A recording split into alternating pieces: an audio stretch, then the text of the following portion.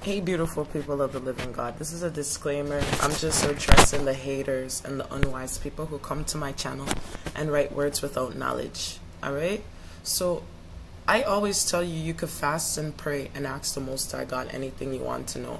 But I'm addressing this thing where, you know, a few people are asking me if I'm racist.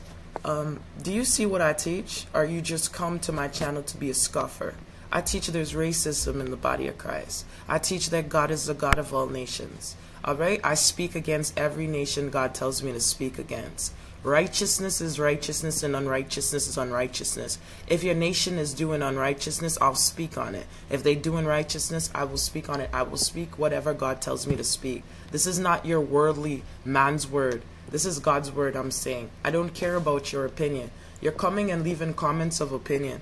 I come to you with the word of God. Let me teach you something. Since you're so unwise and you can't see it yourself. Um, when the children of Israel, those are black people, they ruled and they were doing evil in the sight of the Most High God. What did he do? He put them in captivity. He judged them. He punished them. If you read through your Bibles, when the Assyrians did evil before the Most High God, he judged them. He punished them too. When other nations in the Bible did evil before the Most High God in different rulerships, Greece, he judged them.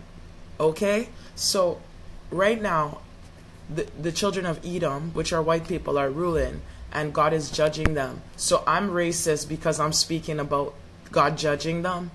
Righteousness is righteousness, and unrighteousness is unrighteousness.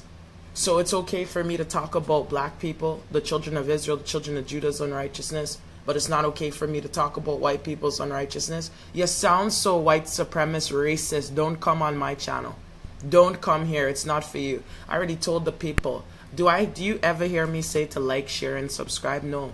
I tell the people, this is for uh, people with eyes to see and ears to hear and who have a relationship with God. What are you doing on my channel? You don't have no relationship with God because if you did, you would fast and pray on your knees to the Most High God and say, I went on this woman's channel. Is what she's saying is true? Then she says, oh, this thing about daughter Zion. Listen, even the Israelites are jealous of daughter Zion. You should fast and ask God. That's why they won't talk about it. They won't talk about it because they don't want a woman to rule. Don't you see misogynist men in this day and age today? Even then, the Israelites don't want a woman to rule. That's why the Israelites don't talk about daughter Zion. It's in Micah. It's all through the Bible. She's in Revelations 12 and 1. What is my pro problem that you can't read with comprehension? It's not. Is it my fault that you don't know right from wrong? Is it my? You're asking me if I'm a Mormon. The people who know who I am on my channel, they know. I am not a part of any denomination. Just because people say they're Christian, are they good? Are they really walking in the ways of God? Those are titles. Just because people say they're Mormon, are they good? Those are titles. God gave his word and people wanted to call themselves whatever they call them. God said you're a child of God. He said you're his children. He's your father. So I'm not going off. I'm not in any part of religion. I'm a child of God. I hear God for myself. I see God's visions for myself. I fast and pray to, pray to God for myself. I'm not your pastor. I'm not your preacher. I know who I am with God. I know what I'm blessed with because I know who I am. You're coming on my channel and you don't even know your talents and your gifts.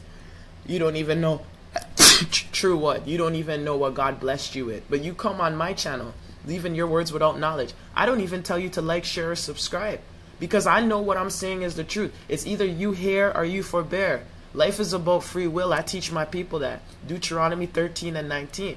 God placed before you life and death, a blessing and a curse.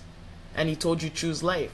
If you hear something and you're not wise enough to research and fast and pray and ask God for the answer, you'll never know the truth. Don't come to me with your words without knowledge. And don't come to me because you don't understand the difference between right and wrong about if I'm racist. No. I love all nations of people. I love everybody. But guess what?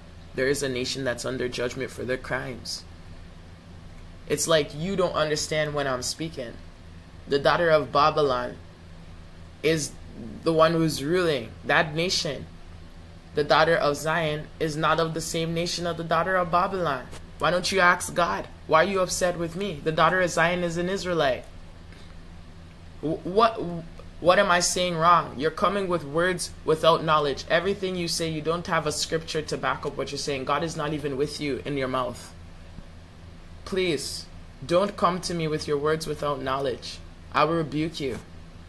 I will rebuke you. I rebuke you right now because you're unwise and you're unlearned. You should get a and you should inquire of the Lord. I teach that. You don't have to believe anything I'm saying. I don't care. I know who I am and I know who I am with God. Who are you? Who are you? Some of you don't even know who you are. Words without knowledge you type in. Keep your vain words to yourself. The next time you feel like you need to type a comment to me, go on your hands and knees and ask God for the answer. Take care, unwise people.